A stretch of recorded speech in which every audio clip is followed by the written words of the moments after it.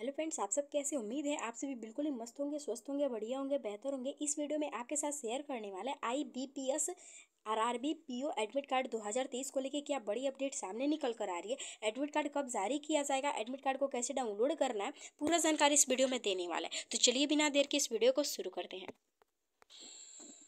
तो चलिए यहाँ पर एडमिट कार्ड को लेके कुछ इंपॉर्टेंट डेट की बात कर लेते हैं कि आप सभी का जो एडमिट कार्ड है वो कब जारी किया जाएगा। सबसे पहले यहाँ पर नंबर ऑफ़ टोटल वैकेंसीज की बात करें तो 2560 की वैकेंसी है एंड देन आप सभी का जो एडमिट कार्ड है वो कब जारी किया जाएगा। तो फाइनली आप सभी का जो एडमिट कार्ड है वो जुलाई के फोर्थ वीक में फाइनली रिलीज़ हो जाएगा, ठीक है? एंड देन अभी हम यहाँ पर एग्जामिनेशन डेट का बात करें I B P S R R B P O prelims exam date का बात करें तो फाइनली आपका एग्ज़ाम पाँच, छः, बारह, तेरह और उन्नीस अगस्त को फाइनली कंडक्ट कराया जाएगा ठीक है।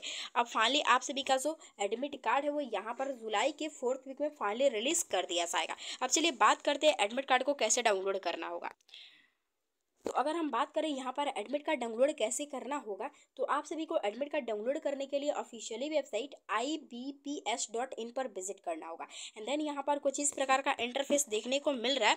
अब जैसे यहाँ पर एडमिट कार्ड को रिलीज़ किया जाता है ना तो आप सभी को इसी वेबसाइट पर एडमिट कार्ड की डायरेक्ट लिंक मिल जाएँगी। आप सभी यहाँ से एडमिट कार्ड को डाउनलोड कर सकते हैं। या फिर जैसे अब एडमिट कार्ड को रिलीज़ किया जाता है, इसी चैनल के माध्यम से लाइव आप सभी को एडमिट कार्ड डाउनलोड करके दिखाया जाएगा। सो मिलता है नए वीडियो के साथ। तब तक के लिए इतना ही।